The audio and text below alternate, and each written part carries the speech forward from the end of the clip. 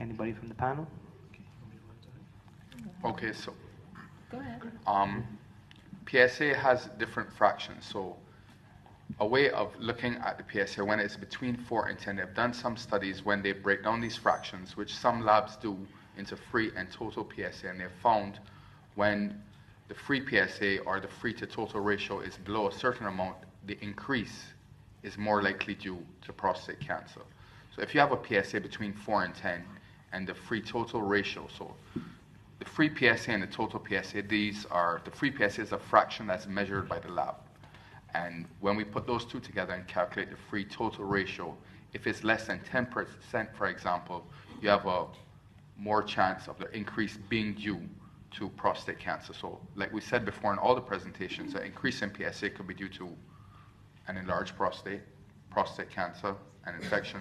So that gives us more of a hint. So we don't use one PSA alone to say, okay, you need to have a biopsy. We use uh, a trend of PSAs, or as Doc said, your PSA history. So looking at the free to total ratio, that gives us an idea if that increase may or may not be due to cancer. And then we advise the patient, okay, your PSA or your free to total ratio is less than 10. Maybe we should do a biopsy now because it's possibly due to prostate cancer. So it's just another tool, tool we use to decide, okay, do we need to do a biopsy or not? So it helps us in managing the patient.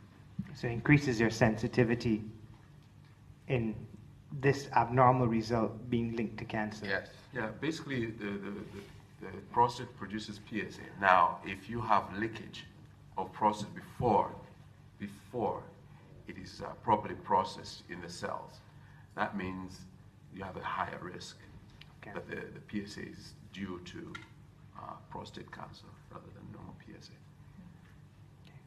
Any more questions?